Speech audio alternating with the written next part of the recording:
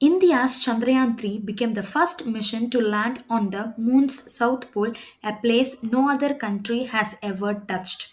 But why did India decided to go to the moon?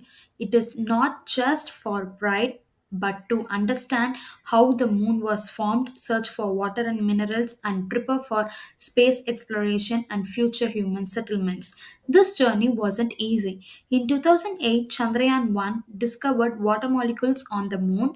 In 2019, Chandrayaan 2 attempted a landing, but its orbiter is still sending data. And finally, on 23rd August 2023, Chandrayaan 3 made history with a perfect soft landing at the moon's south pole. But why they choose the south pole?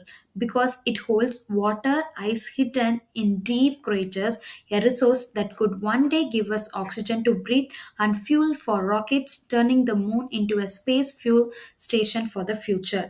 And that's why 23rd August is celebrated as National Space Day.